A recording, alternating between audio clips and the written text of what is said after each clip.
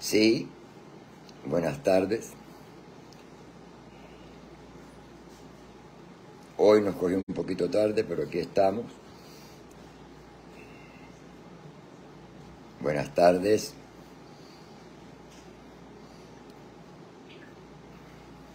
Buenas tardes, por favor. Les pido que compartan. Bienvenidos, buenas tardes. Bienvenidos, Sansón.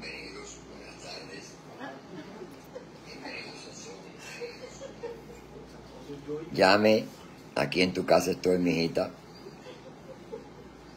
Buenas tardes, compartan. Ida, mi prima, buenas tardes, amor. Buenas tardes a todos los que se están conectando. Les pido que compartan.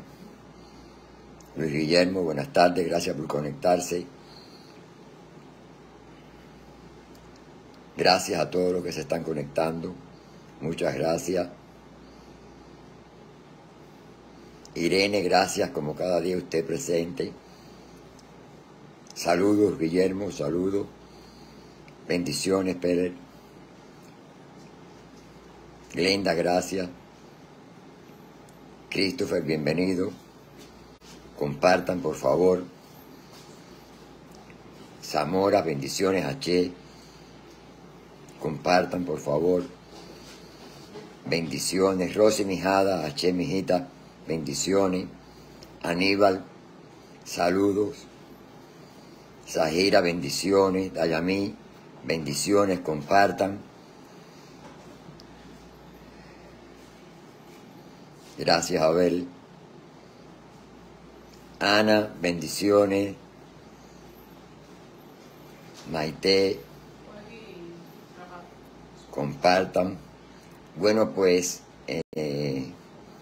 ustedes saben que hicimos una encuesta a ver cuál era el signo que ustedes preferían entre Obara, Tonti, Obara y Odi, Tonti, Odi. Ustedes escogieron eh, Odi, Tonti, Odi o Odi May y ese es el signo que hoy vamos a, compartir, que vamos a conversar. Mil bendiciones, Ana, para ti. Gracias, Irene. Compartan. Pues vamos a hablar de Odi, Tonti Odi, Odi Meji. Y vamos a empezar diciendo que un mal viene del cielo. Tropieza con la tierra, se convierte en bien y se expande. Quiere decir esto, ni más ni menos, que por muy mal que veamos las cosas que vienen, eh, el bienestar y la multiplicación de las cosas buenas va a llegar. H. Guillermo, H. José, en siete días, en siete días Olofi creó la tierra y específicamente determinó que el séptimo día sería para descansar. Séptimo día, y esto quiere decir que las personas tienen que escoger un día para descansar en su vida, para que eh, tengan paz y para que todas las creaciones sean divinas. La persona que le salga este orden debe permanecer dentro de su casa lo más posible porque el, el H, el iré y el bienestar, Lázaro, gracia, va a llegar siempre a la puerta de su casa, indiscutiblemente. Compartan, por favor. Dice este orden que eh, eh, si usted no es adúltero, bueno, pues alguien lo será por usted. Es un signo donde el adulterio está completamente presente siempre y donde realmente no se puede ser adúltero. Y, eh, hay que saber bien claro el adulterio que nos pueda perjudicar eh, en la vida. Por tanto, se recomienda no ser adúltero y tampoco permitir adulterios en una relación, ni muchísimo menos. Eh, ¿Con qué nalga se sienta la cucaracha? Dice este orden. ¿Con qué nalga se sienta la cucaracha? Bueno, pues, indiscutiblemente sabemos que la cucaracha no tiene nalga. Entonces hay que ver, eh, que hay que saber con qué contamos en la vida para poder proceder, eh, para poder proceder en la vida. Eh, dice que este orden usted no se puede salir de las buenas costumbres. Las buenas costumbres son las costumbres que aprendimos un día, las costumbres que, que aprendimos un día, que nos enseñaron, y de esas no debemos salirnos nunca en la vida. Debemos mantener las costumbres, las costumbres correctas, la vestimenta correcta, el no andar descalzo, porque este orden marca que no se debe andar descalzo. Eh, eso es no salirse de las buenas costumbres. No ser vicioso, porque si usted no es vicioso, alguien entonces lo podría hacer por, usted. Habla mucho el vicio, hay que tener mucho cuidado con el vicio eh, eh, que es perjudicial para las personas. Dice que la muerte hereda todo sobre la tierra. Si la muerte hereda sobre, sobre la tierra, porque es que realmente sobre la tierra está de lo que se alimenta eh, la muerte. Estoy hablando de Odi, Tonti Odi. Gracias, Armando. Entonces, eh, la muerte hereda todo lo que está sobre la tierra porque ella se alimenta de todo lo que está sobre la tierra. Todo lo que está vivo morirá y eso es el alimento eh, de la muerte. Así es que la necesidad que cuando sale este orden las personas deberán de darle de comer la tierra para buscar permanecer más sobre ella antes que eh, la muerte nos venga a buscar, que indiscutiblemente nos vendrá a buscar. Hoy día es siete. Siete días está Yahweh en el trono, siete mares, siete océanos, siete días de la semana, siete continentes. Siete son los orificios fundamentales que tenemos los seres humanos en la cabeza. Dos, cuatro, seis, siete. Simplemente estamos hablando de que este orden es orificio, es hueco, es hueco. Simplemente es importante eh, que en este orden que sepamos que hablan todos los orificios del cuerpo, tenemos que cuidarlos todos. Ahorita les voy a hacer una historia donde realmente vamos a ver la importancia de cada una de estas partes del cuerpo y fundamental esa a la que nadie le hace mucho interés, que también es un orificio, y vamos a conversar sobre una historia. Este orden que estamos aquí en el día de hoy habla mucho de nervios. ¿eh? También traigo una historia para saber cómo es que, que produce un trastorno mental este orden en los seres humanos y el por qué. El hueco está abierto. Entonces alimentar el hueco es de suma importancia en este signo. Por favor, compartan compartan. Dice que las personas podemos arrepentirnos del pasado, pero estamos en la obligación de enfrentar el presente. Arrepentirnos del pasado es poder saber qué hicimos mal un día en la vida y podemos arrepentirnos de eso. Sin embargo, lo que estamos haciendo en el presente, ese sí hay que saber enfrentarlo. No hay, no se puede esconder, hay que enfrentarlo. Odito ante Odí, Odimelli, no es más que un signo de calumnias. Todo el mundo dice que Odito ante Odí es chismoso. No, no, no, no, yo no estoy de acuerdo con eso. Y no voy a poner en, en, contrapartida a lo que otro pueda pensar, pero este orden es calumnia. Calumnia. A la persona que le sale este orden será muy calumniado y él no puede calumniar. Entonces, eh, gracias que Sangoro bendiga a usted también, Lore. La corrupción en este orden es muy grande y hay que evitar las corrupciones para que eh, no se puedan caer en ese tipo de cosas en la vida, porque entonces podemos llegar eh, a tener dificultades. Eh, dice que el que pervierte a otro trae la maldad a su casa. El que pervierte a otro trae la maldad a su casa. Si nosotros somos capaces de pervertir a las demás personas, luego estamos trayendo la maldad a nuestra casa. Esa es la forma que tiene de pensar la persona que le sale este orden. ¿eh? Una persona muy mental. Estamos en presencia nada más y nada menos que del karma. Ojo por ojo y diente por diente. Como haces te harán y entonces el karma, amigos míos, existe. Y es el boomerang. John, bendiciones. Adonis, bendiciones.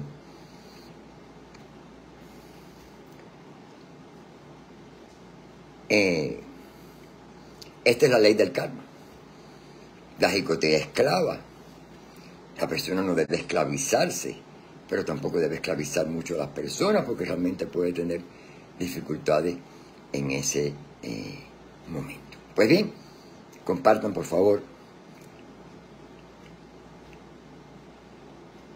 Odito Antiodí es madre por sobre todas las cosas, porque este es el signo de reproducción de las células del ser humano, las células en general, surgen y a partir de ahí comienzan los seres humanos a reproducirse, comienzan las plantas a reproducirse, comienzan los peces a reproducirse, ¿eh?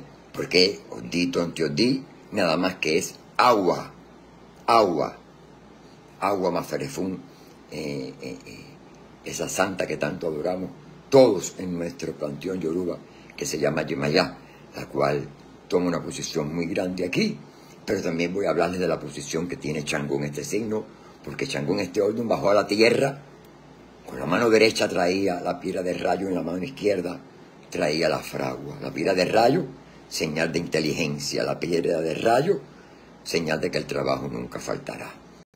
Entonces, simplemente, si tenemos trabajo, porque Olofi lo destinado así, porque cuando Changó bajó la tierra, bajó con su eh, fragua y con la inteligencia que tiene Odimeji por la piedra de rayo que Chango le da, esa persona puede vivir bien y puede tener muy buenas augurios en su vida. Dice que específicamente en este orden Olofi dijo que quería, Olofi dijo que quería eh, 100 cerebros y que le daría un premio a aquel que le trajera 100 cerebros. Todo el mundo salió a buscar los cerebros y a buscar los cerebros, pero realmente aquellos eh, cerebros no aparecían por ninguna parte.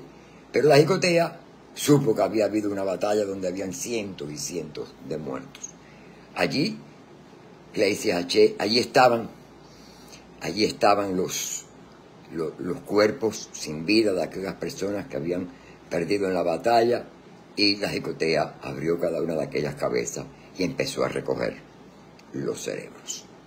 Los echó todos a un saco hasta que llegó a tener sus 100 cerebros, se lo echó al hombro y partió con su lentitud a donde estaba Olofin. Allí llegó y le dijo, aquí traigo Olofin los 100 cerebros. Olofin le dijo, dámelos de hombre. La jicotea le dijo, no sé, dámelos de mujer. La jicotea le dijo, no sé, dámelos de niño. La jicotea dijo, no sé, dámelos de niña. Y la jicotea dijo, no sé. Pues si no sabes, dijo Lofi, coja todos esos cerebros y póngalos en su lugar. La jicotea echó sus cerebros al hombro y salió caminando y caminando y allí llegó a aquel campo de batalla estaban todos los cadáveres sin cerebro. Metió la mano en el saco y cogió uno, pan, y lo puso. Cogió otro pan y lo puso. Ahí cambiaron los cerebros y los de hombre cayeron en la cabeza de la mujer. Los de las mujeres cayeron en la cabeza de los hombres, los de los niños en la cabeza de las niñas. Y así se cambiaron eh, los cerebros. Simplemente estamos hablando que el que le sale a este orden es una persona de cerebros cambiantes que puede pensar como hombre, como mujer, como niño, como niña, y no se malinterpreten mis palabras, pero realmente eh, es así. Habla trastornos mentales y los trastornos mentales fueron producidos con, eh, por eso mismo. Saludos Bailey, saludos Pedro.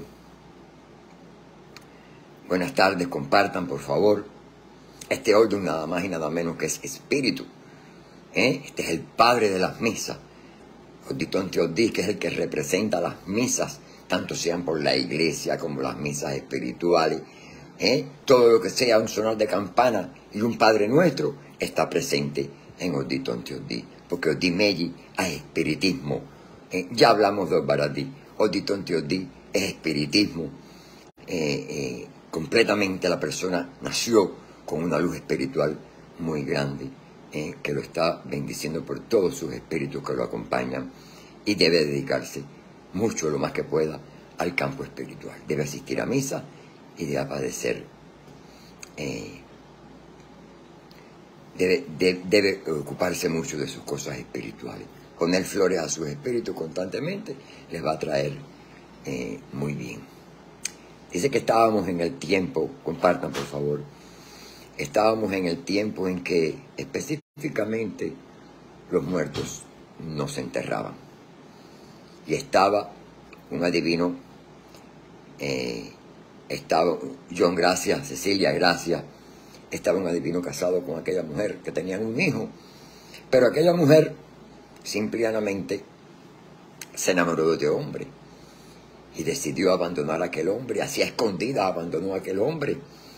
Entonces estábamos hablando de que esa es una mujer adúltera, ¿eh? Una mujer adúltera y así se fue con aquel otro hombre y abandonó a su, a su esposo y a su hijo. Pasado el tiempo, pasó, aquella mujer consiguió un trabajo en una, eh, en una plaza vendiendo harina y quien bombó. Aquel papá y aquel niño, quienes estaban creciendo con dificultades en la vida, decidieron comprar harina y quien bombó y así el padre le dijo al hijo, gracias a Lila, le dijo a Lila, le dijo al hijo que fuera a buscar harina y quien bombó al mercado. Cuando el niño llegó al mercado, ¿cuál sería su, eh, su sorpresa que encontró a su madre vendiendo harina y? Y luego de comprar, en vez de comprar la harina y corrió a donde estaba su madre pidiéndole un abrazo y diciéndole, mamá, mamá, mamá, mamá, mamá, la cual simuló su muerte, porque en aquellos tiempos no se enterraban los muertos, ¿eh? y así fueron ella depositada a la orilla de una ceiba envuelta en una sábana blanca. El hijo lloró de alegría al ver que su madre no estaba muerta. La madre simplemente se viró para su hijo y le dijo, ¿quién tú eres? no te conozco.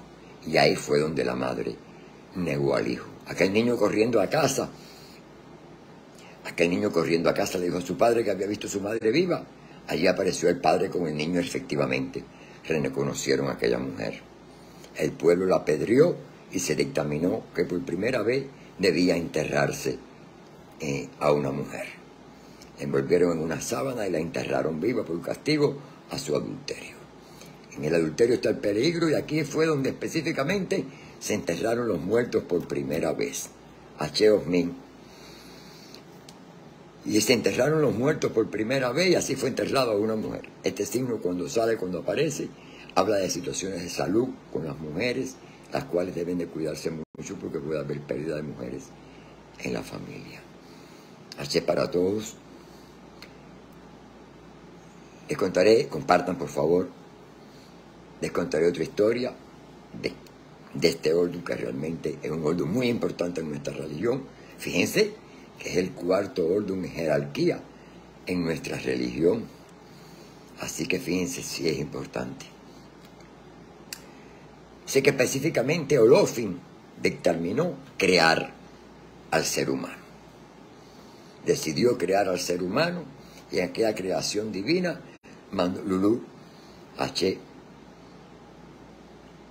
y eh, aquella creación divina mandó a buscar a todos los órganos que componían al cuerpo humano. Allí llegaron el corazón, el hígado, los pulmones, los riñones, en fin, todas las preguntas.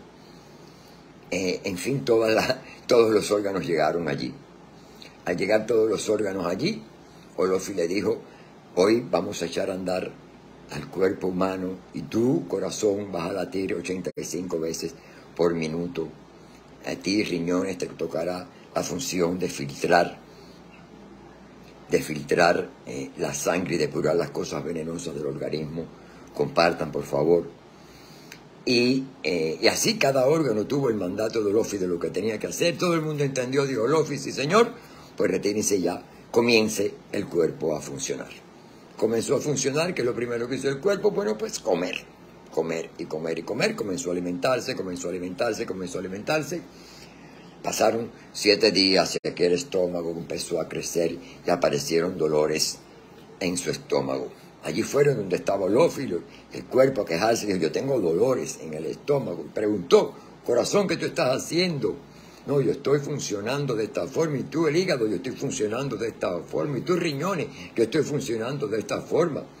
Todo el mundo estaba funcionando bien, por lo tanto Lofi dijo que no había problema. Sigan comiendo, que aquí no hay ningún tipo de problema. El cuerpo siguió comiendo, siguió comiendo, siguió comiendo y pasados días después el dolor era irresistible.